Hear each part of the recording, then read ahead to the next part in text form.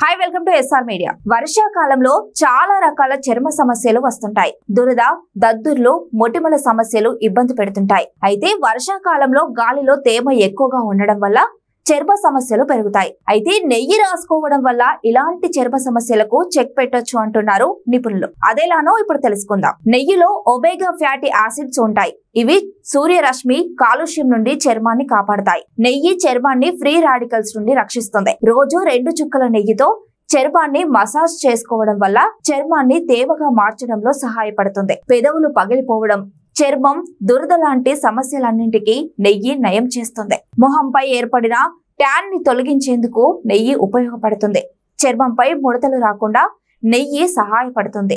ఇది సహజ మాయిశ్చరైజర్గా కూడా పనిచేస్తుంది. వర్షాకాలంలో పాదాల సంరక్షణ అనేది చాలా ముఖ్యం. కొంతమందికి ఏడాది పొడవునా పాదాలు పగుళ్ళు ఏర్పడతాయి. ఇది పాదాల అంటువ్యాధికి కూడా దారితీస్తుంది. సో పగిలిన పాదాలకు చికిత్స చేయడానికి నెయ్యిని ఉపయోగించవచ్చు. అయితే జుట్టు శిరోజాల సంరక్షణ కోసం కూడా నెయ్యిని ఉపయోగించవచ్చు. కొబ్బరి నూనెలో నెయ్యి మిక్స్ చేసి జుట్టు తలకు పట్టించాలి. ఇరవై నుండి ఇరవై ఐదు నిమిషాలు అలాగే ఉంచి షాంపుతో తలస్నానం చేయాలి.